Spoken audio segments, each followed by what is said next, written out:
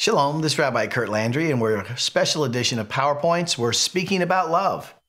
And I uh, hope you're receiving some of this as correction because when you love somebody, you do speak correction. Yesterday, we talked about being rude, and uh, sometimes some of us talk too much, and some of us don't listen enough. And then some of us are really too quiet, and we should speak up. There's a balance there in the cultural, social interaction. But it goes on in 1 Corinthians 13, and it says, uh, love, it does not insist on its own way.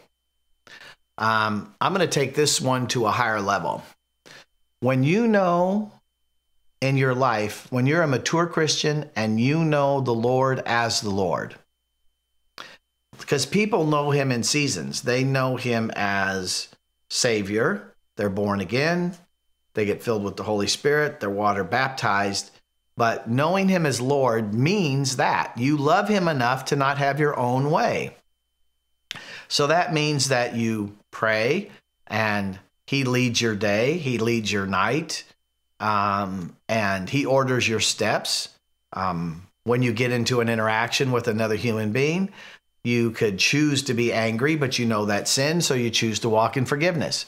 Um, uh, you, you get impatient. You want to somehow push and manipulate and rush ahead, but you choose and you know that manipulation is as witchcraft, it's rebellion, so you don't want to do that. So, so you learn how to not only behave like a Christian, but to allow the Lord to have his way over your way.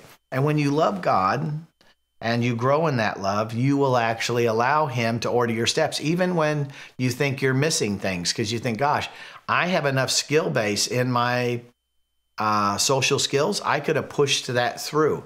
But isn't it interesting when you get more mature? It's like, no, I missed out on that, but I'm showing the Lord. Unless the Lord opens a door, I'm not going to beat on doors anymore. I'm not going to pull the doorknob off doors and I'm not going to insist to get to the front of the line because I'm going to trust that if I'm patient and I walk in patience and love is patient, love is kind. If I'm patient and I'm kind and I'm not envy of someone in front of me, that I can trust the Lord and I don't have to have my own way because his way is better. God bless. I'll see you tomorrow.